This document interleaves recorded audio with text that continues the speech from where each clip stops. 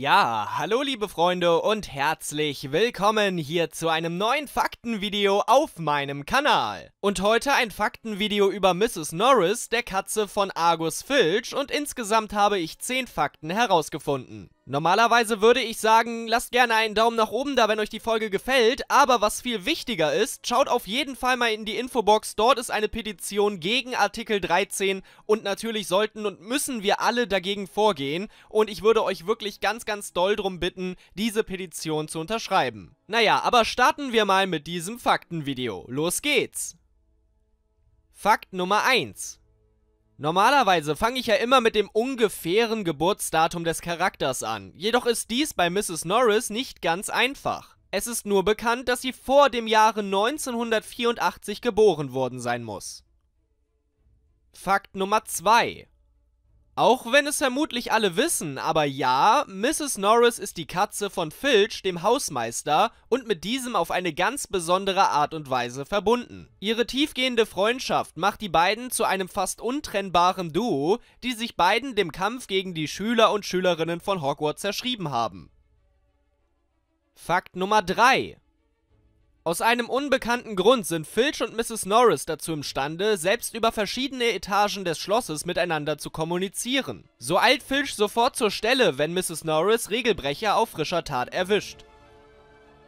Fakt Nummer 4 J.K. Rowling erzählte einst, dass sie den Namen Mrs. Norris von einer Figur aus Jane Austens Roman Mansfield Park übernahm, die ähnlich abscheulich und häufig im Hintergrund aktiv ist. Jane Austen ist, by the way, J.K. Rowlings Lieblingsautorin. Fakt Nummer 5.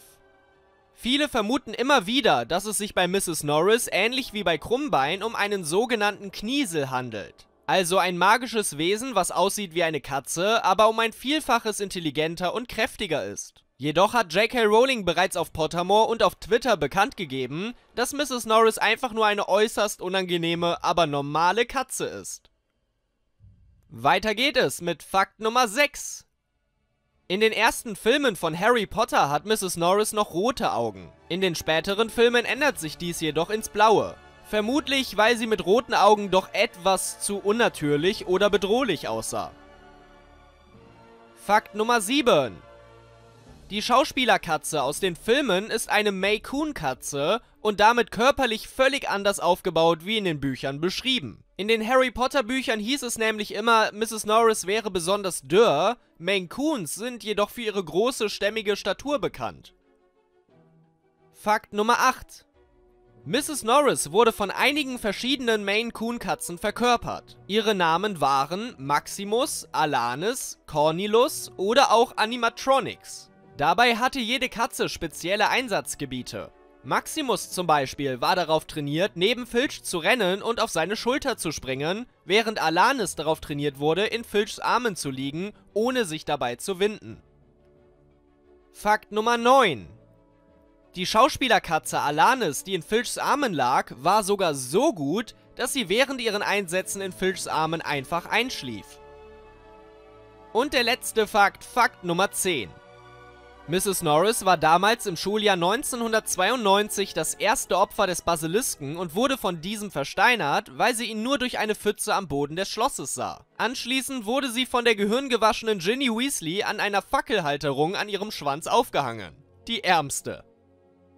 Ja, das war mein Faktenvideo über Mrs. Norris. Wenn euch das Ganze gefallen hat, dann lasst sehr gerne einen Daumen nach oben und ein Abo auf meinem Logo da. Vergesst nicht, die Petition gegen Artikel 13 zu unterschreiben. Wie gesagt, Link befindet sich in der Infobox. Und in diesem Sinne wünsche ich euch allen einen wunderschönen Tag, macht was draus und bis zum nächsten Mal. Ciao Leute!